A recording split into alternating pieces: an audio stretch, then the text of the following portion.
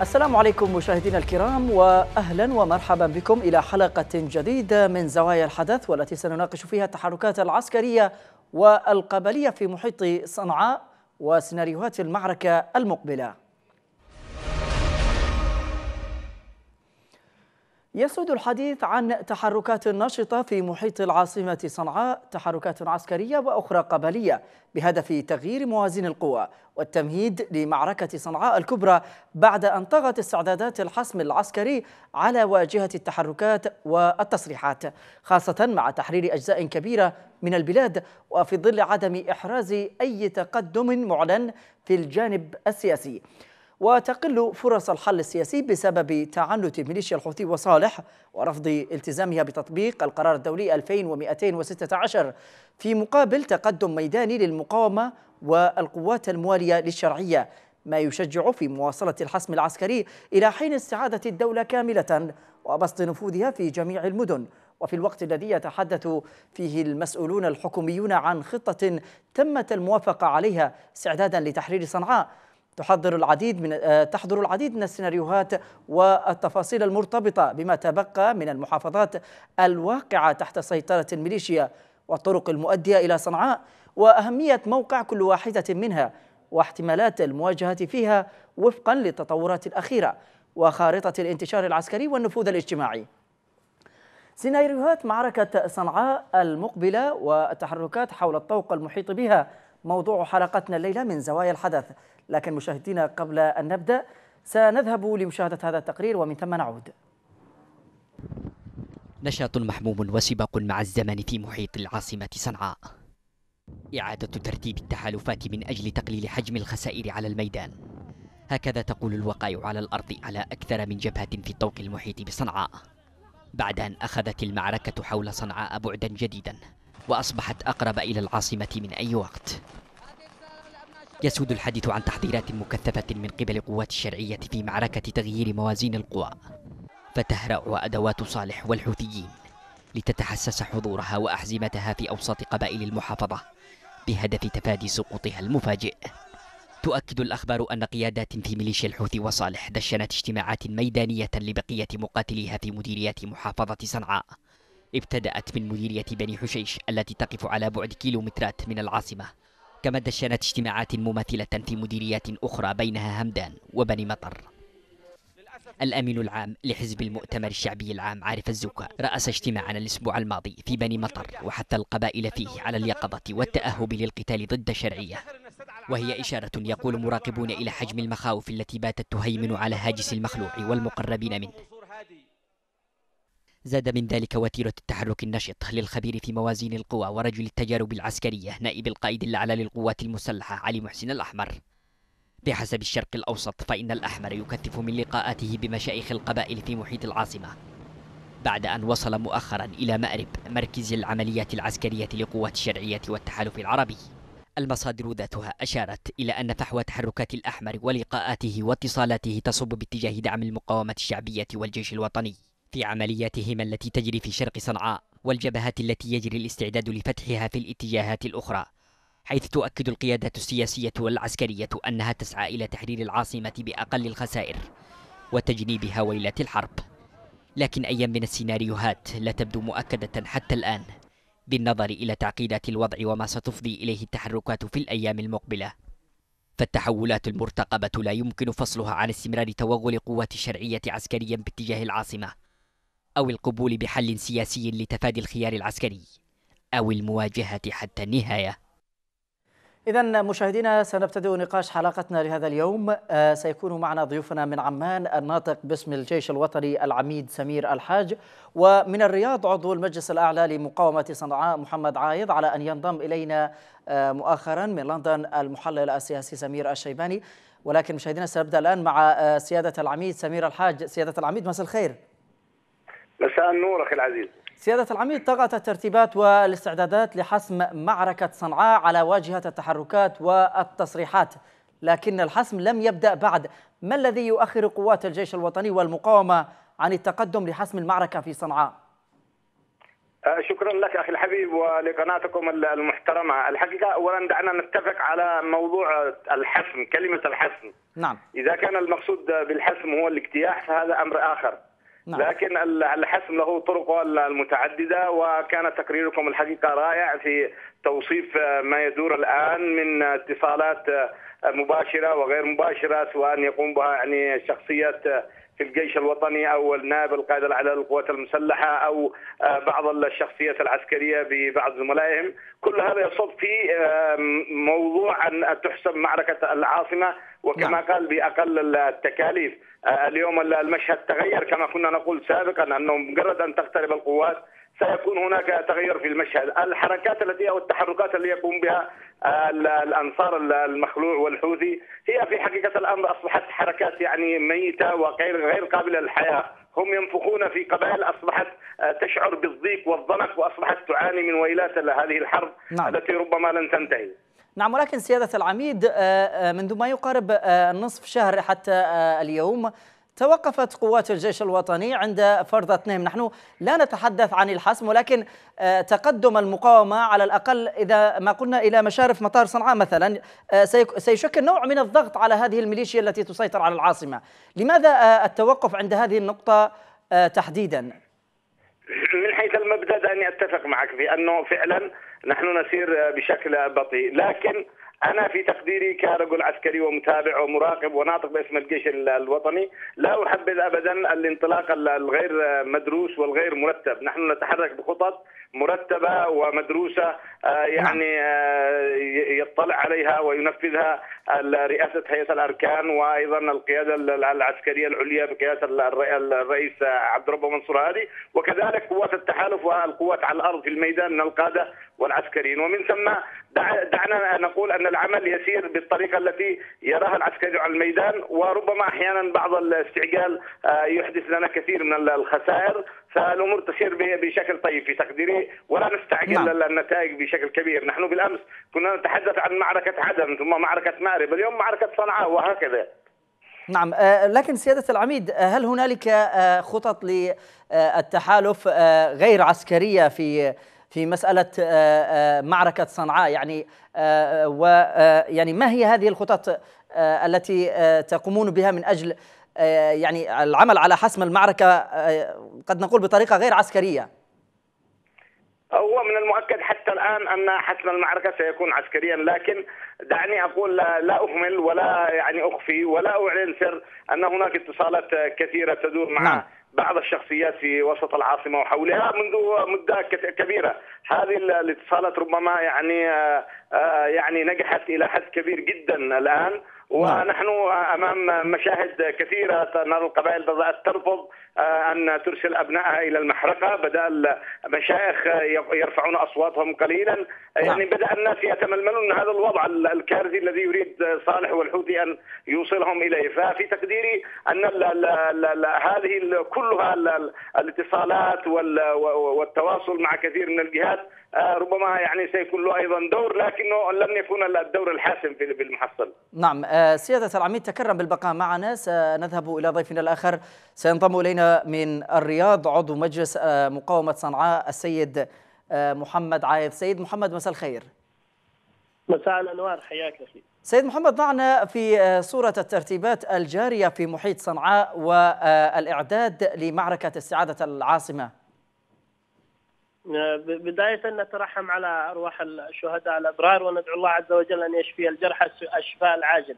نعم. ونشكر ضيفكم الكريم الناطق باسم الجيش ونشكركم على هذه الإطلالة ونبشركم بأن الأمور كما تفضل ضيفكم الكريم تمشي على قدم وساق وفي ترتيب محكم في شقيه الجانب العسكري وأيضا الجانب التنسيق مع شيوخ القبل والوجاهة الاجتماعية والقيادات المعنية في المحافظة وفي أمانة العاصمة. نعم. وبإذن الله عز وجل في القريب العاجل آه، ستكون هناك آه، يعني تقدم ملموس وملحوظ. ونحن الآن في بصدد ترتيب بعض الألوية. نعم. بالتنسيق مع قوات التحالف العربي بقيادة المملكة العربية السعودية. نعم. وإن شاء الله يعني المعركة نعم معركة سيد محمد سيد محمد هل هناك تحضير لجبهات أخرى إضافة إلى جبهة نهم في في حسم معركة صنعاء؟ نعم نعم بالضبط كما تكرمت إنه إحنا الآن بصدد ترتيب ألوية لفتح عدة جبهات من عدة محاور. ونحن على وشك الانتهاء منها وفي القريب العاجل إن شاء الله ستنطلق عدة معارك في عدة محاور ونامل أن أن تكون يعني التقدم يعني سلس بفضل جهود الوجهات في أمانة العاصمة في المحافظة ما مدى التنسيق بينكم وبين وجهاء القبائل يعني في المحيطة للعاصمة صنعاء ما مدى التنسيق؟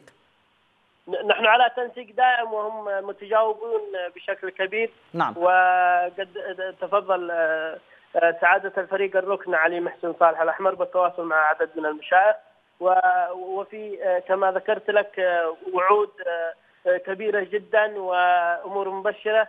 والكل يرفض هذه الميليشيا. وكلهم على استعداد بالالتحام مع الشرعية وقوات الجيش الوطني إن شاء الله. نعم. سيد محمد عايض ابقى معنا. سنعود إلى ضيفنا العميد سمير الحاج. سيادة العميد إلى أين توصلت قوات الشرعية فيما يتعلق بتغيير موازين القوى في محيط صنعاء؟ هل باتت المعادلة القبلية في صالح قوات الشرعية حتى الآن في محيط العاصمة أم لا تزال المعادلة في صالح ميليشيا الحوثي والمخلوع حتى اللحظة؟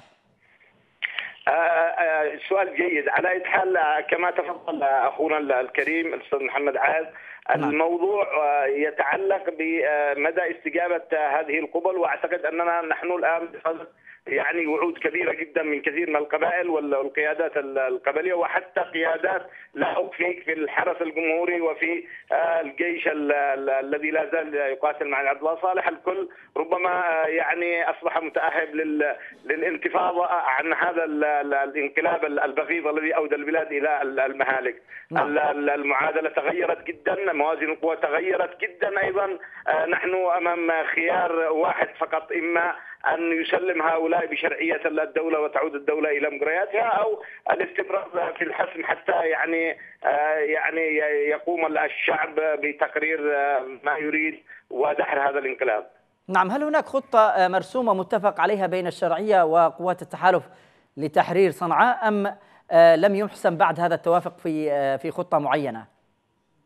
لا دعني أؤكد لك بما لا يدع مجال للشك أن العمل يسير وفق خطة متفق عليها ومرتبة نعم. آه يعني موجود فيها التحالف وموجود فيها المقاومة الشعبية وموجود فيها الجيش الوطني والذي أصبح يشكل عدد كبير جدا من ال من القوى الدافعه نحو العاصمة صنعاء وأيضا في بقية المحافظات الأمور تسير بموجب يعني ترتيب يعني ليس عشوائي وانما موجب ترتيب وتنظيم دقيق على أرض المعركة وعلى نعم. مسرح العمليات ومن ثم ربما هذا الذي أشرت إليه في البداية أن الأمور تسير بشكل أحيانا بطيء ولعل هذا البطء يعني يرجع إلى دقة تنفيذ هذه الخطط وأيضا إلى تجنب إزهاق أرواح ضحايا أو التأثير على المدنيين. نعم سيادة العميد عضو مجلس المقاومة في صنعاء تحدث أن هنالك قوات يتم التحضير لها لحسم معركة صنعاء ما مدى حجم هذه القوات وهل هي كافية في يعني في حسم المعركة؟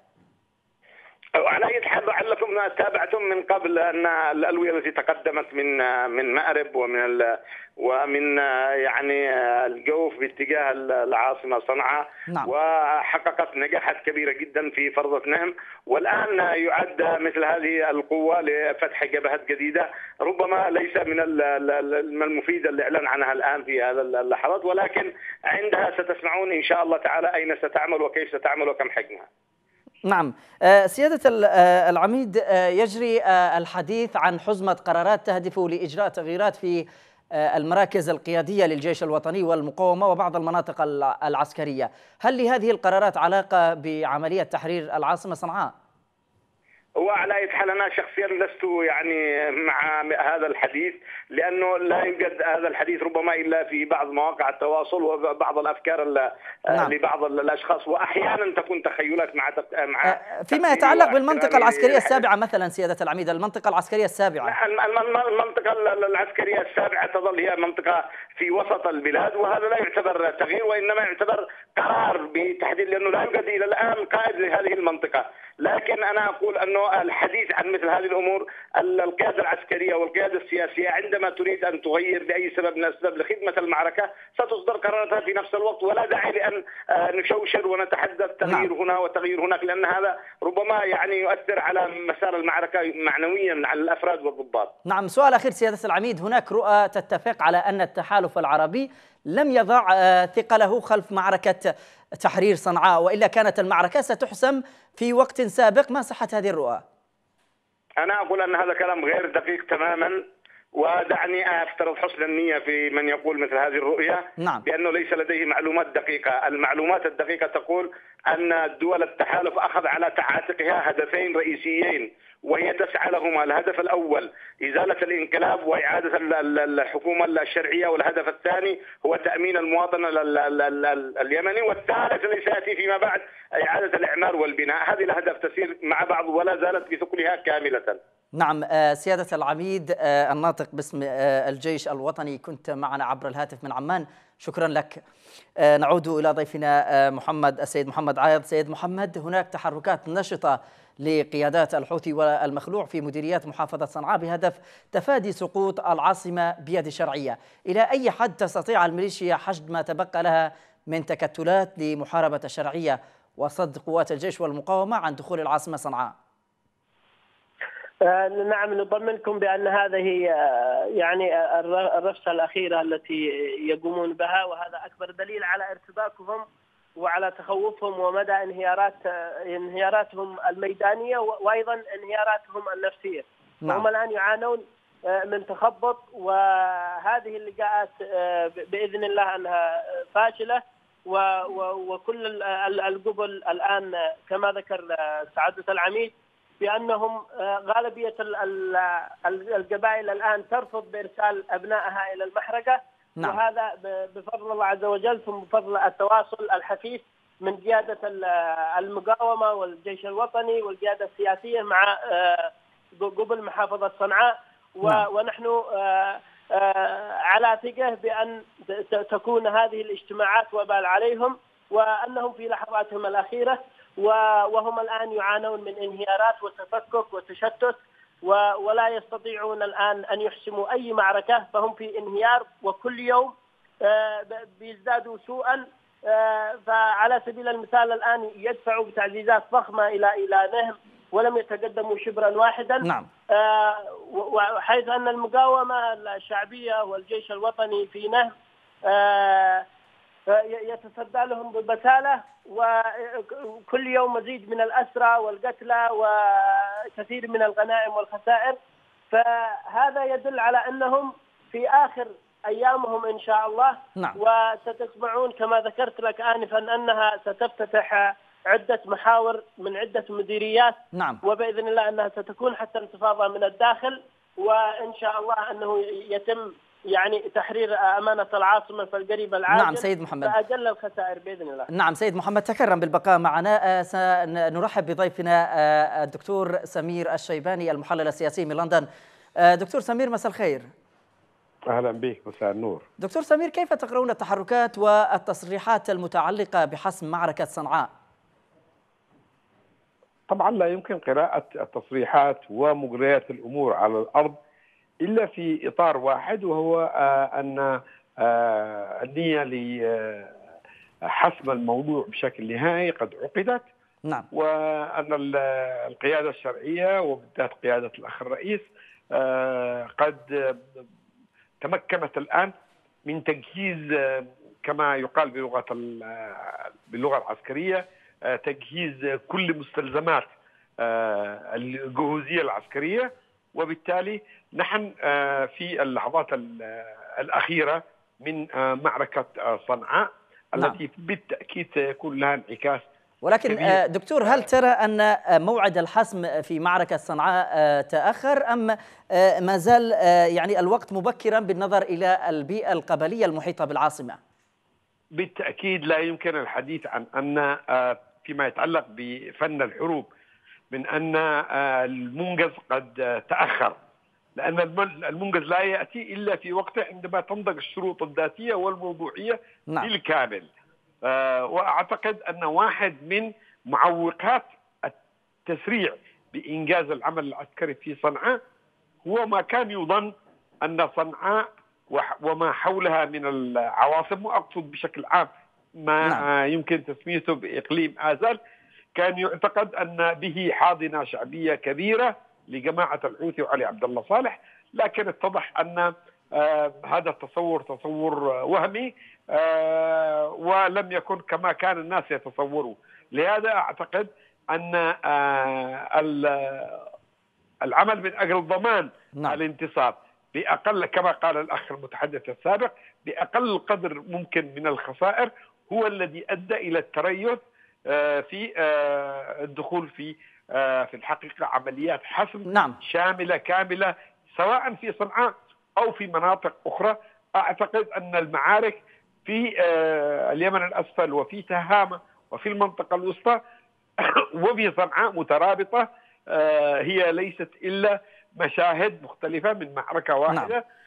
إذا تمكنت المعركة الرئيسية من من استعادة السيطرة على العاصمة صنعاء بالكامل أعتقد انه بقية الجبهات ستنهار بشكل نعم يعني دراماتيكي سريع. نعم دكتور ولكن الحشد آه، القائم آه، آه، حول معركة تحرير صنعاء هل هذا الحشد سيقلل من فرص الحل السياسي أم أنه سيدفع الميليشيا إلى العودة إلى المسار السياسي؟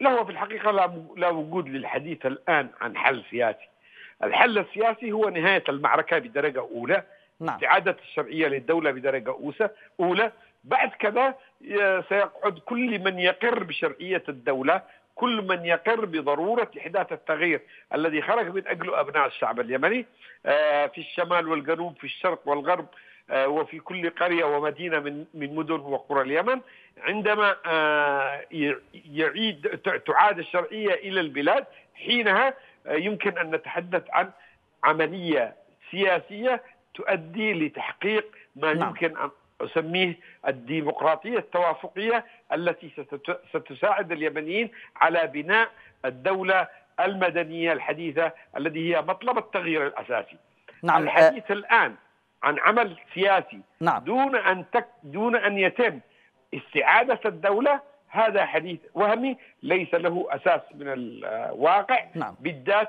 بعد تلك الخسائر الكبيرة التي قدمها أبناء هذا الشعب بعد التضحيات العظيمة التي قدمت من أرواح ودماء أبنائنا آه لم يعد هناك مجالا للحديث عن نعم. عملية سياسية، العملية السياسية الوحيدة المطروحة هي انهاء, إنهاء المعركة واستعادة بناء الدولة. نعم دكتور تكرم بالبقاء معنا. سنعود لضيفنا الآخر آه، عضو مجلس مقاومة صنعاء آه، السيد محمد عايض. سيد محمد يقال أن هناك تحالفا مناهضا لميليشيا الحوثي بدأ يتسع ويشمل عشائر مؤثرة في محيط صنعاء.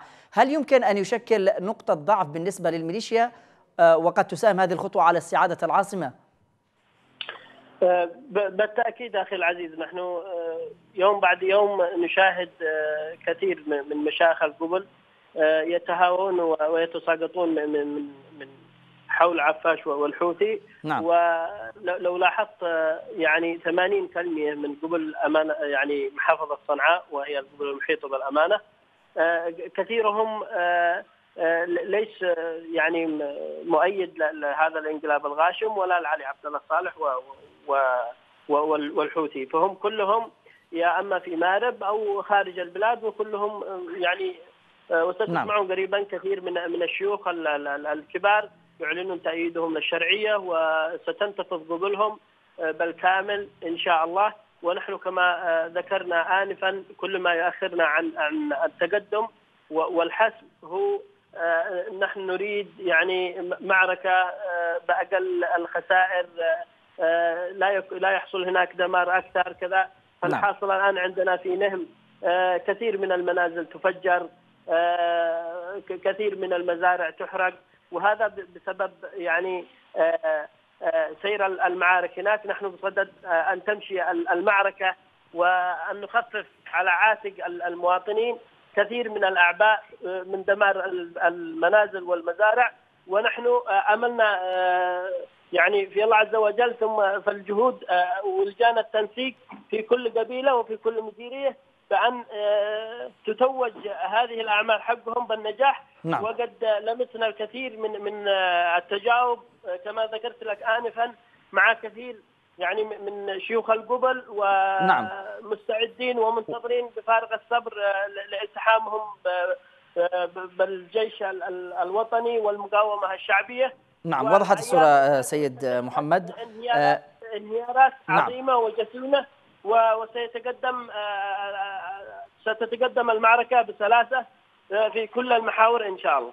نعم اذا الناطق أو عضو مجلس مقاومة صنعاء السيد محمد عايض كنت معنا عبر الهاتف من الرياض. شكرا جزيلا لك. نعود إلى الدكتور الدكتور سمير الشيباني. دكتور تحركات نائب القائد الأعلى للقوات المسلحة الفريق علي محسن الأحمر ونشاطه في محيط صنعاء القبلي هل يمكن أن تسهم في التسريع في عملية استعادة العاصمة صنعاء بالتأكيد سيلعب ولا بد أن يلعب الأخ اللواء علي محسن دور كبير نعم. في تفكيك اولا هذا التحالف الذي كان سائدا ولعهد طويل بين أبناء القبل المحيطة بصنعاء نعم. وسلطه علي عبد الله صالح الفاسدة والمستبدة التي في الحقيقة استغلت أكثر الأساليب يعني أستطيع أن أقول النداله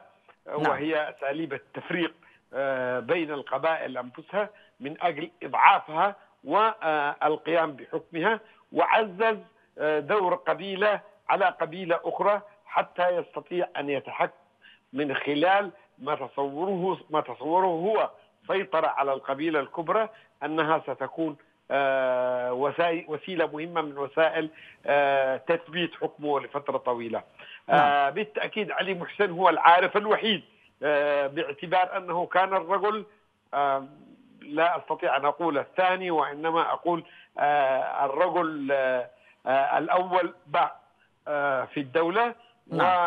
وأيضا كان الرجل الأول على الإطلاق بعد المرحوم الشيخ عبد الله بن حسين الأحمر في القدرة على التأثير على أبناء القبائل لا سيما القبائل التي ينتمي لها علي عبد الله صالح والتي كانت تعتقد أن بقاء علي عبد الله صالح أو جزء منها كان يعتقد أن بقاء علي عبد الله صالح فيها استمرار لحالة استقرارهم وفائدتهم من الارتباط بالدولة.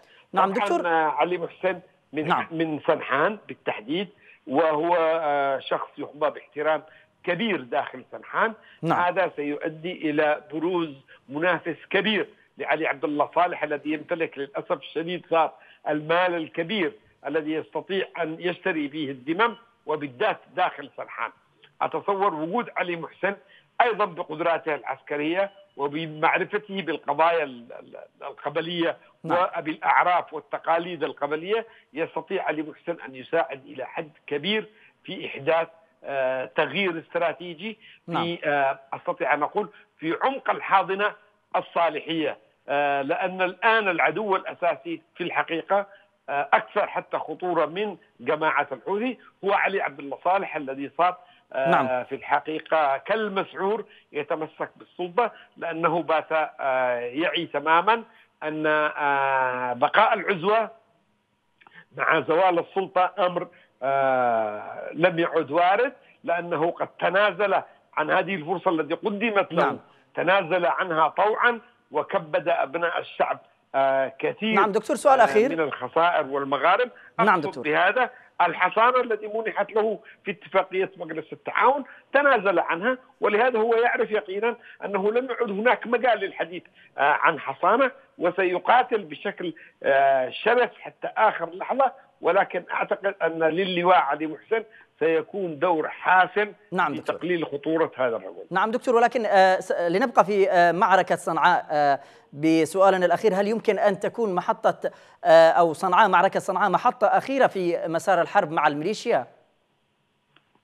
أولا إن حسمت معركة صنعاء واستعادت وتمت استعادة السيطرة على العاصمة صنعاء هذا يعني أن الدولة قد تم استعادتها حتى وإن بقيت جيوب مقاومة لعلي عبد الله صالح والعنفي هنا وهناك لما تحمله العاصمة من رمزية. نعم. أتصور أيضا أن سقوط المركز المقدس في صنعاء لجماعة الحوثي وجماعة علي عبد الله صالح سيؤدي تلقائيا إلى انهيارات داخل الجبهات الخارجة آه، التي تتواجد الآن خارج إطار صنعاء وبالتحديد جبهة تعز. أعتقد أن سقوط صنعاء سيؤدي إلى السقوط التلقائي نعم. لمناطق آه، تعز لأن المقاومة مقاومة القوى الشرعية والجيش ستكون غير مبررة على اعتبار أن الدولة قد سقطت في الشرعية بالكامل باعتبار أنها قد أمسكت برأس الدولة. نعم تحمل شكرا معنى رمزي هام في حسم المعركة في كل نعم. مكان. نعم اذا آه، الدكتور سمير الشيباني كنت معنا عبر الهاتف من لندن شكرا جزيلا لك. إذا آه، مشاهدينا بهذا آه، نكون قد وصلنا إلى ختام حلقتنا لهذا اليوم وفي الختام لا يسعني إلا أن أشكر ضيوفي عبر الهاتف من عمان الناطق باسم الجيش الوطني العميد سمير الحاج وأيضا محمد عائض عضو مجلس المقاومة مقاومة صنعاء والدكتور سمير الشيباني من لندن. آه، والشكر أيضا للطاقم الفني في العمل وأيضا لمعد الحلقة آه، الزميل محمد القاسم. والشكر لكم أنتم مشاهدين على كرم المتابعة. إلى الملتقى في أمان الله.